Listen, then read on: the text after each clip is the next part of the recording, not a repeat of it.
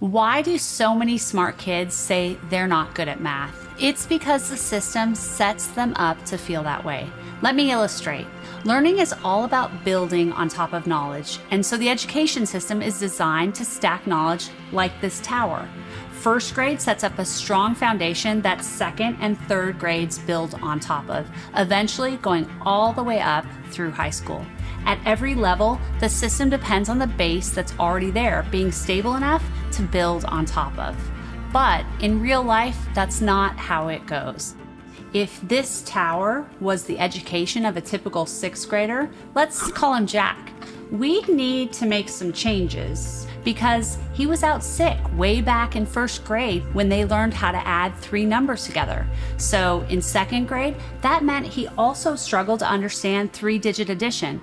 But he did okay on the rest of the tests, and the teacher moved him on with the rest of the class. In third grade, his multiplication tables were a little shaky, and the class kept moving before he could do it in his head. Then came two years of lockdowns, Zoom classrooms, and substitute teachers. On a national level, that chaos from COVID caused the largest decline in math scores since records began 50 years ago. And for Jack, that means he's completely stuck when it comes to fractions.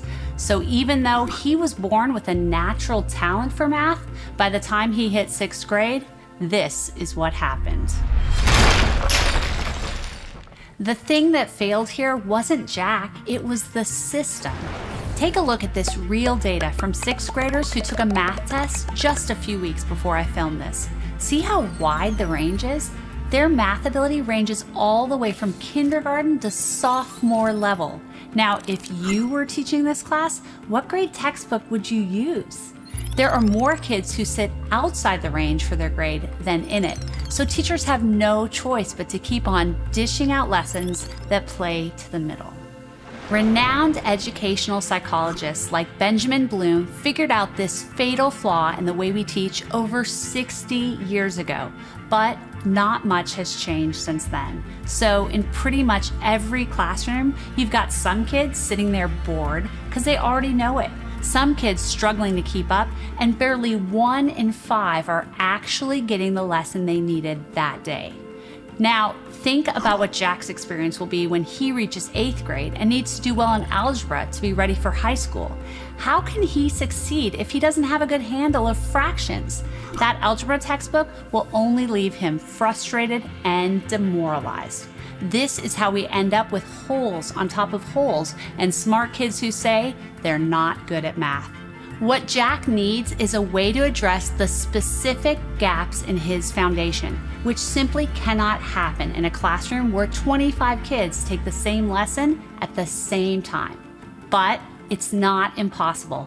Thanks to breakthroughs in technology, the solution already exists. Today, learning apps are finally capable of doing what a traditional classroom never could.